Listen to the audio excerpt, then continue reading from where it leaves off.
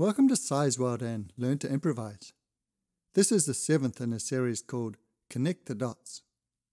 You can skip straight to the exercises in the chapters below if you like. These exercises will help to develop your aural skills.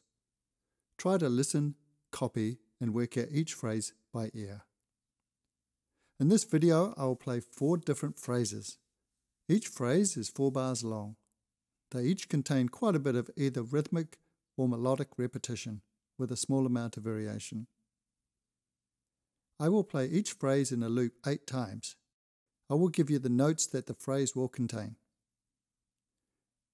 On the sixth repetition, I will show you the notated phrases so you can check if you have it down correctly. Remember, you can use the chapters to go back and play it again and the YouTube settings if you want to slow it down or speed it up.